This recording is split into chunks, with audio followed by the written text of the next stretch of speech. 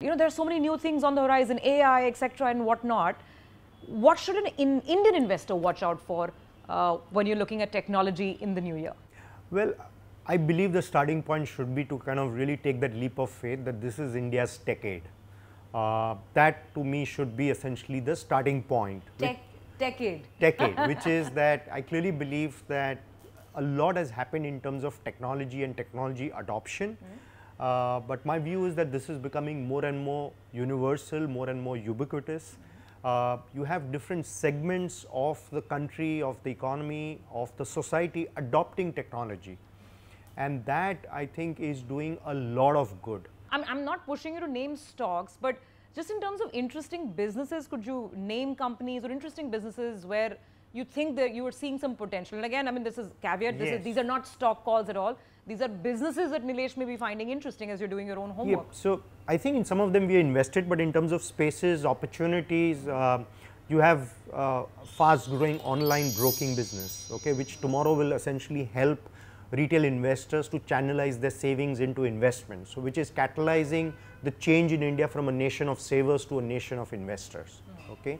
Um, so and there are some of these brokers like the like the angel ones of the world, or the others right. who may who may live. That's yeah. that's that's right. Okay. Uh, okay. Some of them are essentially helping um, the uninsured to buy insurance products. That's okay, by, yeah. So so that comes. Some of them are helping individuals to access credit uh, from banks, from NBFCs. Okay, so so that I think is important.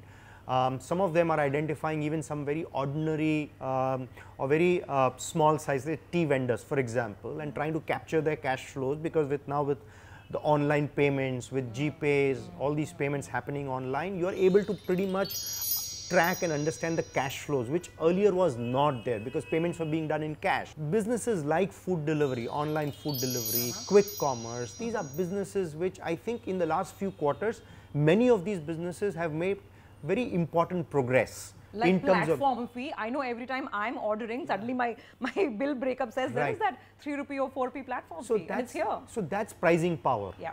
Okay. Yeah. Uh, when we look at a consumer company like mm -hmm. say an HUL where suddenly input prices go up yeah. and they hike prices of soaps and shampoos, we don't crib about it. Yeah. We call it as pricing power. Mm -hmm. But when it's a platform fee, uh, it gets questioned. but nevertheless, pricing power is getting manifested yes. and that's the yes. strength of the platform hmm. or the strength of the brand, hmm. uh, whichever way you call it. Yeah. Uh, if this sustains, you would easily call this a moat. Hmm. If this sustains, if this pricing power sustains, if yeah. you can ward off competition, that's yeah. what a, a moat is all about.